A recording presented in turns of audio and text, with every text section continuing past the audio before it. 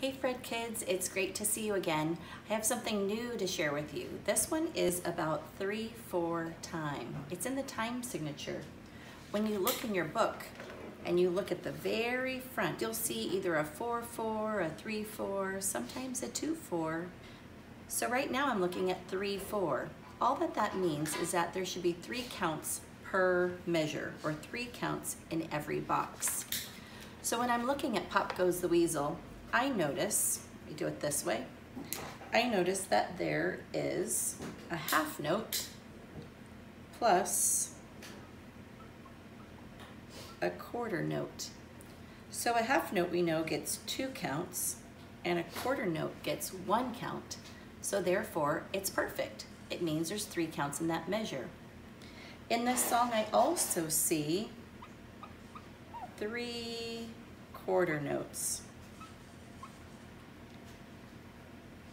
That also works because 1 plus 1 plus 1 equals 3. On Pop Goes the Weasel, there's two more measures that have a count of 3. One of them looks like this. A half note, which you know is 2, plus a dot. And that makes it add one more to equal 3. Lastly on that real cool pop, it is a quarter note with two rests. So it's the same as saying one plus one plus one, which also equals three.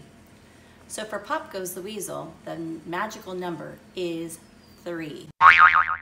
Whenever you see three, four time, make sure it's in those counts.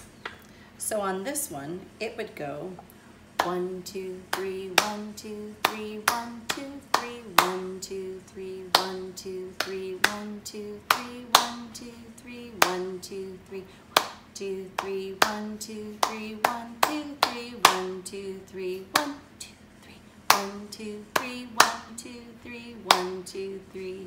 I wonder if Pop Goes the Weasel will be something that you can play. Let's bring it to our chin and try it out. G, G, A, A, B, D, B, G. G, G, A, C, B, G. G, G, A, A, B, D, B, G. D, rest, rest. So no sounds on the rest. A, C, B, G. Can't wait to hear what that sounds like.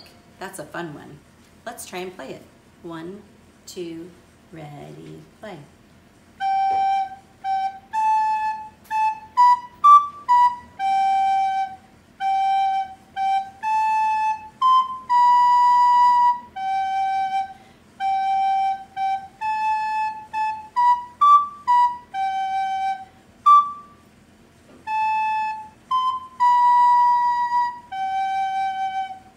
Did you notice how after I went, I rested and there was no other sounds? The other thing, I'm blowing really softly. I have a small amount of the instrument mouthpiece in my mouth and I'm blowing as if I'm just exhaling. That really helps with your songs. Good luck.